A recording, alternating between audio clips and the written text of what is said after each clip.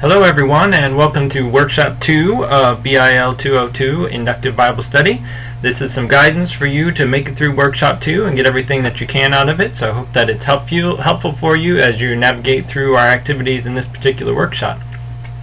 As I mentioned last week, uh, each of the workshops in this course is de designed to kind of dovetail with one another so that what you do in a previous workshop kind of leads into the next workshop and so on and so forth throughout the class. So in the very first activity that we're going to be doing in Workshop 2 is a follow-up to that paper that you wrote at the end of Workshop 1 on your starting point with Scripture. Uh, that kind of that first assignment gives you a chance to sort of think about where you are at in terms of your reading of Scripture and your understanding of Scripture is. In this particular discussion board, we're going to ask you to read a little bit and Grasping God's Word about the inspiration of Scripture and the role of the Holy Spirit in interpreting Scripture and bring that together with your starting point from the previous paper. So this discussion board will really focus on how you understand the role of the Spirit, both in the original inspiration of Scripture and in its interpretation now, as well as how you understand Scripture to be reliable and authoritative. So we'll kind of be talking about those issues in this particular discussion.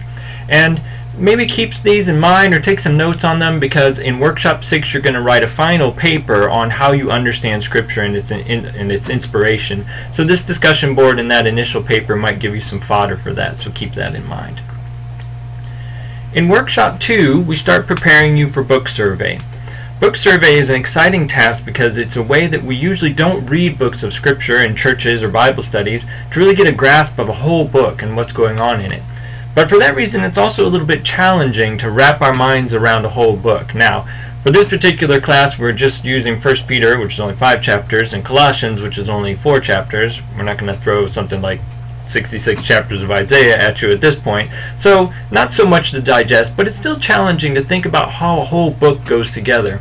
You have, again, uh, the file on how to survey a book. There's the lecture that I've given you on walking through a survey of 1 Peter that I've done. And then there's also the file of that survey if you want to go back and refer to it as well, so that you have an example to base your own work off of. Now in workshop two here, we're just kind of getting our feet wet with book survey. So uh, like we did with detailed observation in workshop one, we're just going to have a discussion board here. What you want to do is read through the file, listen to the lecture, and then post three questions or comments about the example survey of 1 Peter in the discussion board, and also do a tentative outline of Colossians and make a good guess about one major structural relationship in the book. Again, we're just kind of getting you started into thinking about the book survey of Colossians, which you'll then do in the next workshop. So this is just a, a way to help you get prepared for doing that book survey.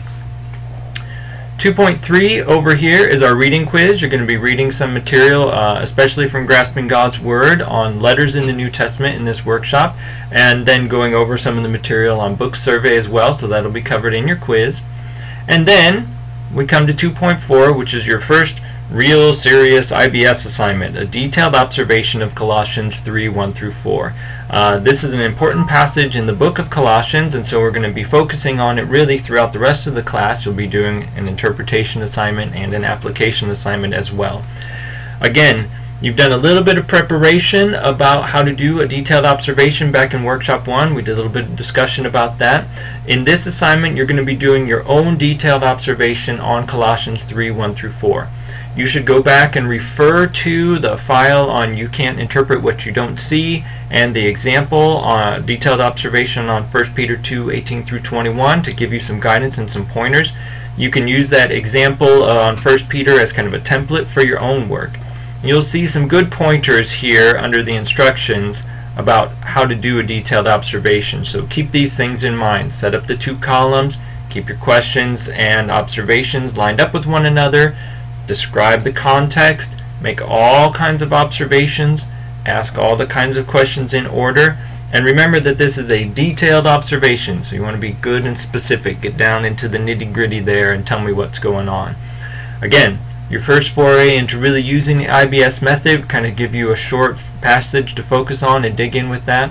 I hope that you feel the Spirit of God working along with you and speaking to you and guiding you as you're learning how to use this new tool uh, to dig into Scripture more deeply. And I pray that you hear that voice speaking to you in ways that are relevant both to this class and also to your lives and the context in which you minister. May God bless you this week as you continue your work, and I look forward to interacting with you online.